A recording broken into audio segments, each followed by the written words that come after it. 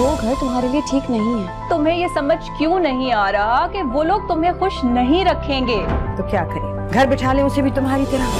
उसने तो जो कुछ कहा वो उसका बचपना था लेकिन जो कुछ तुमने कहा वो बिल्कुल अच्छा नहीं था। बेटियों से इस तरह बात करते हैं क्या? ये क्या गारंटी है कि अदील भी शादी के बाद वैसे ही तुम्हें प्यार करेगा जैसे तुम्हें अभी करता है? मैं तुमसे वादा करता हूँ।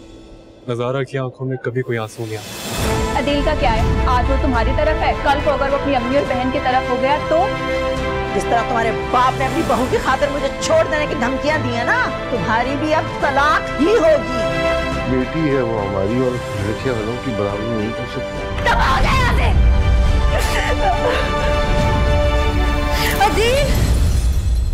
आज हम चुप कर गए मंजूर साहब तो कल जारा के लिए कैसे बोलेंगे?